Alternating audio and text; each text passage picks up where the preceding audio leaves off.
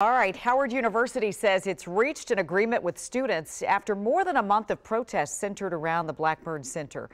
A main issue for students was housing conditions after photos showed what appeared to be mold in dorm rooms. The university has since implemented some new cleaning procedures. Now, the university tweeted that President Wayne Frederick will send out a more detailed statement sometime today. We will keep an eye out for that.